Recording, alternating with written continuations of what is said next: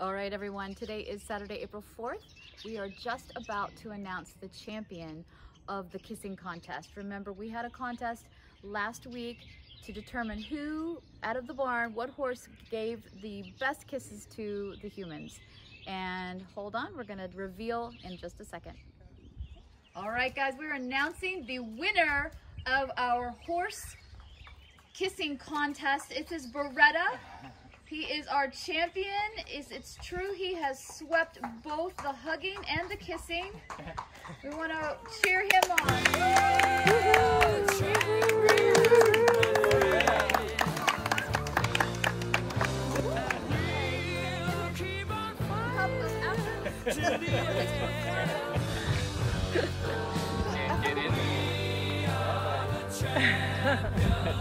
We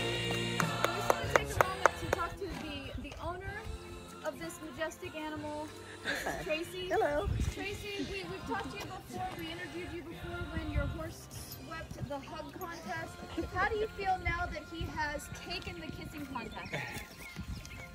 I'm just overwhelmed with joy that he's been able to fulfill his destiny as a, a repurposed racehorse. I love it. Well, speaking of racehorses, you know, we've been talking um, most recently about how the Kentucky Derby, the Preakness, and the Belmont probably, most likely, will not happen this year.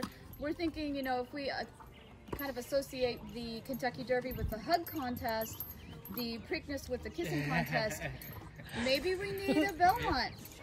That's what people are saying. And do you feel that if we do have uh, a competition of affection, aka our Belmont Stakes, would he have the stamina, the the heart to really pull that through and be our Triple Crown winner? Most definitely, we're going to give it a, our hardest try. Okay. What, what are some of the things you're going to be doing? Are you going to be resting him from now until then, or are you going to be training? How, how, A little of both. We're going to do some rest, and then we're going to we're going to do some training.